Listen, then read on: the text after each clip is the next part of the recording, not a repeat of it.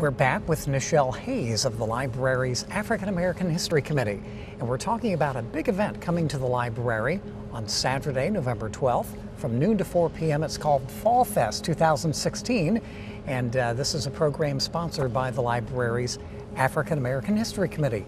Nichelle, what a great event and what a great author presenter we have this year. Tell us about Fall Fest. Yes, we're very excited about Fall Fest. Uh, our keynote speaker is going to be Kwame Alexander.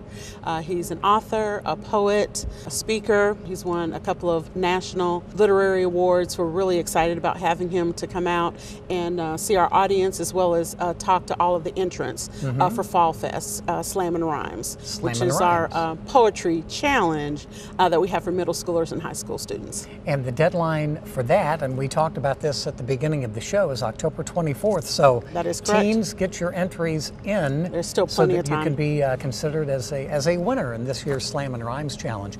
We'll talk about the purpose of Fall Fest. I know this began many, many years ago, but it's really grown in stature, hasn't it? It has, and it's become kind of a force of its own.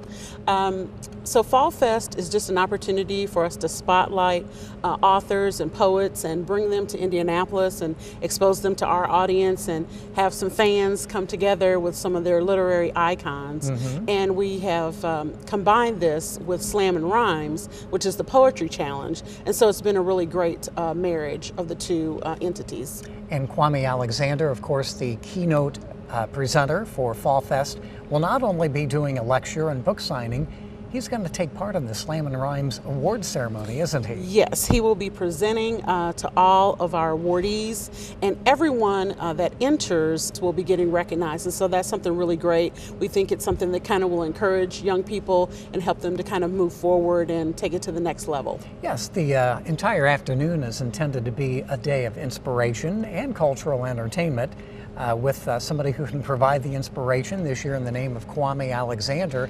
Just one more note on Kwame. He is the Newbery Award winning author from 2015. Yes. And we talked uh, prior to our uh, chat here that he's up for consideration for a National Book Award, although that is certainly not final yet. So right, but certainly we're a very going to cross our fingers and we're pretty excited about that. Yes. What else will be happening during the day? So we're going to have a lot of uh, different acts that are going to be uh, entertaining, and it's going to definitely be interactive. So it's going to be more than just kind of sitting in your seat and clapping politely. Uh, people will get the opportunity to come on stage. Uh, maybe they're going to be dancing. Uh, maybe they're going to be doing some other things. So uh, we're pretty excited about okay. that. This is Fall Fest on Saturday, November 12th from 12 noon to 4 p.m. here at Central Library, by the way, in Clowes Auditorium free and open to the public, again sponsored by the African American History Committee.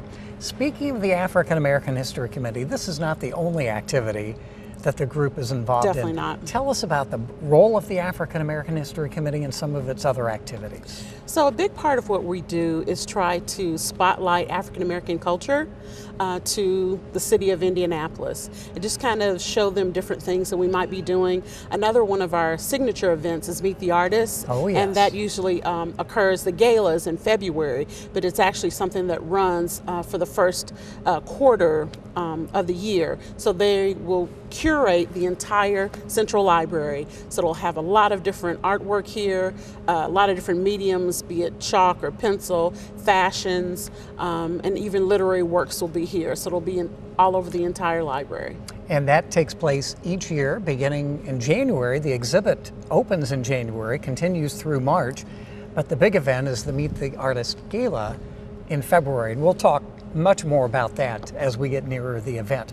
So, one more word on Fall Fest. Uh, what would you say to encourage people and families? It's open for all ages to come to Fall Fest this year. I would year. just say this is a wonderful opportunity to meet a great author um, up close and impersonal and just kind of hear some of his inspiring words. You don't want to miss it.